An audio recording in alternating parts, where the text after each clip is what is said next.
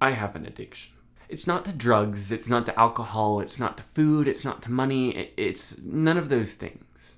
See, what I'm addicted to, and what I have been addicted to since the beginning of high school, is my phone, and more broadly to technology.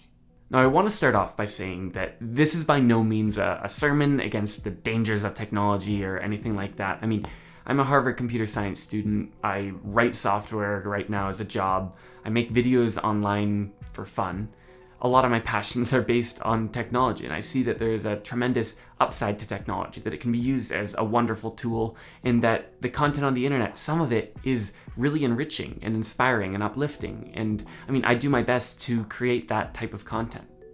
But I also want to take a little bit of time to document the, the negative sides of technology that I've been dealing with recently. Because recently I've been in a bit of a weird place, and I think I know why a few weeks ago, I, I moved back home to my, my old room in my parents' house, and you know, I love this room. But the person that I was when I was living here, the person that I was in high school when I was leaving for college, is very different than the person that I was when I came back home, and from the person who I am now. You know, back when I was in high school, one of my biggest struggles was my relationship with technology. I was a huge social media guy. I loved Twitter, Instagram, Facebook, Snapchat, most of all, YouTube. And I would just spend hours and hours just consuming content on these platforms, just refreshing and consuming whatever the algorithms gave to me. And fairly early on in my high school career, I realized that cutting out social media entirely left me a happier person. So I did a few experiments where I just, you know, deleted everything for a month, two months, three months, whatever. And I was just a happier person. And I think when I when I boil it down to why, it's not so much that the content that I'm consuming is bad in any way. I would classify most of the content that I consume as good or neutral. I, there's some content that is great.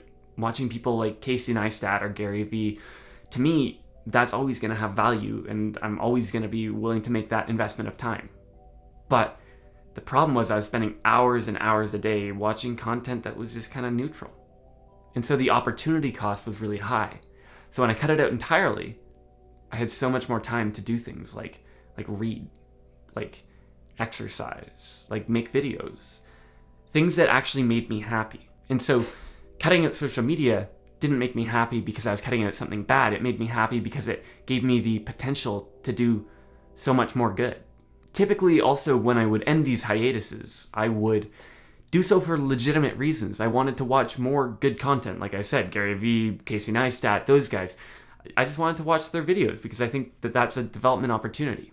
And also, I wanted to, you know, post my videos to the world. But it kind of became a slippery slope, right? Because I'd, I'd, say that I was going on Instagram to, you know, message a friend or do that, but then I'd go on the feed and I'd refresh. Or I'd say I'd be on YouTube to watch a Casey Neistat video or a Gary Vee video, and then I'd see a recommended video and then another one, and I'd be pulled down into this cycle. Now, depending on how long you've been following my channel, you'll know that over the past semester at school, I worked really, really hard to find a balance with social media in my life. That is, using it as a tool and as a positive resource while still giving myself quiet time and, and giving myself the ability to do things like read and make videos and so on. And I got good at it.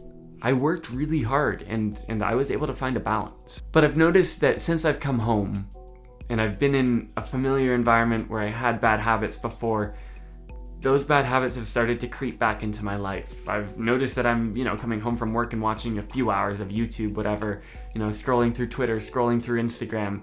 And I feel like as a result of it, I have so much less time to do the things that I've actually really been enjoying over the past semester and that have been have been making me happy and enriching my life. And so there's a problem there and and I want to solve it.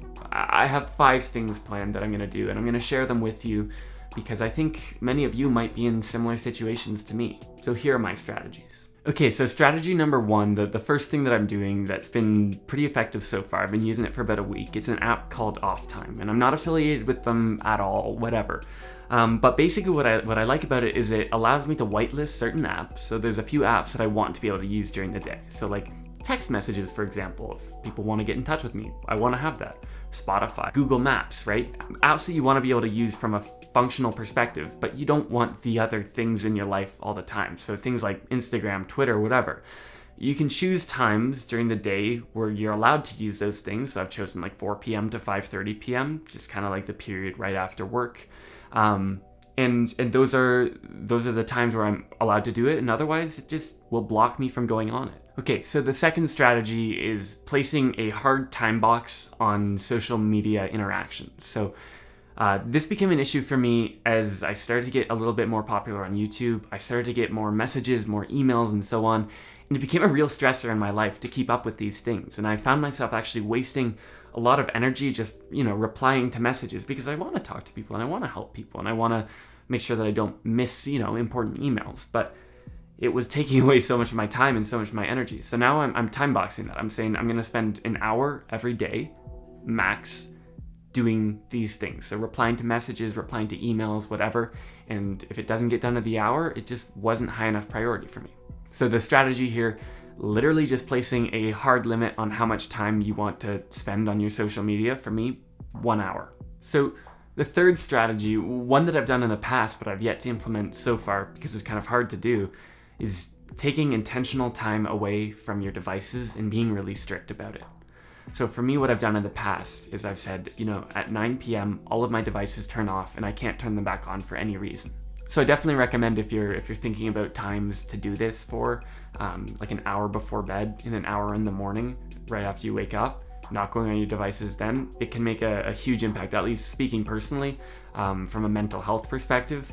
Um, setting up your day in a way that doesn't start with just noise, noise, noise um, is amazing. And actually being able to fall asleep uh, without lying there for hours is also pretty amazing. So the fourth thing that I'm doing, it's actually something that I haven't started yet and I have never done before in the past, but it seemed really obvious when I was writing this up.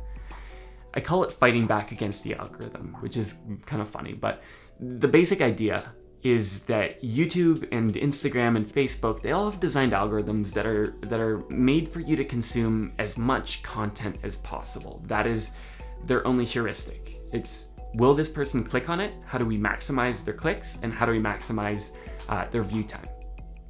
And this doesn't take into account anything that I personally value, right? It doesn't take into account uh, which videos are going to be valuable, which ones are going to be insightful, um, what's going to enrich my life, what's going to make me a happier, more productive person.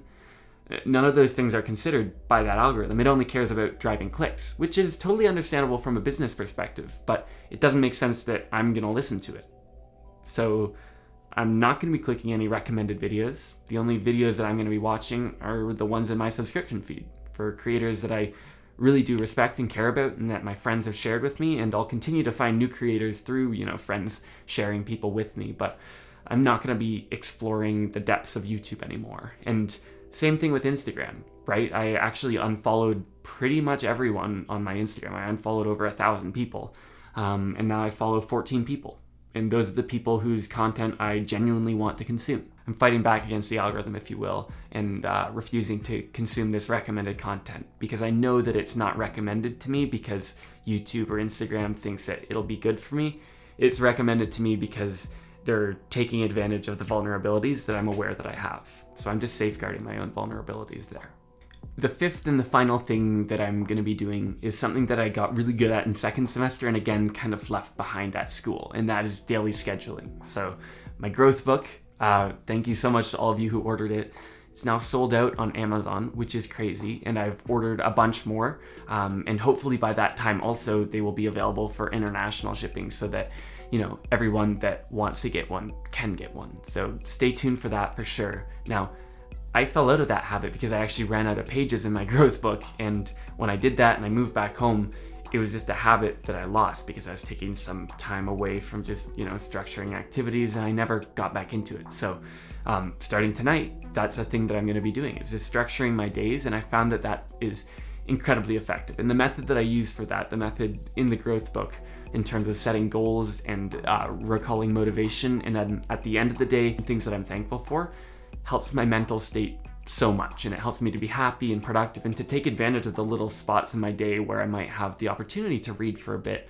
You know, I wanted to share those with with the world because I think there's a lot of people in a very similar situation to me.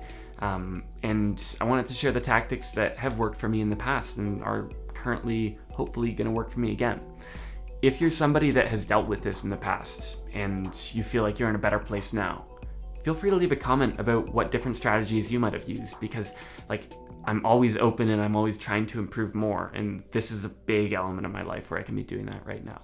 So I want to end off the video just by making a little bit of a shameless plug. The Improvement Movement uh, merch store has just now dropped. It is available improvementmovement.co. Um, worldwide shipping if you're interested in supporting me. But yeah, just been having some fun with that. And um, hopefully, hopefully this whole social media technology thing is something that I can get back into check again, which I think I will be able to. So thank you so much for watching. Thank you for being a wonderful audience that I can, uh, you know, talk about problems in my life to. And uh, thank you again so much for all of your support. It's been it's been really cool, and um, I'm just really excited for the future. Okay, thank you so much for watching. I will see you next Friday.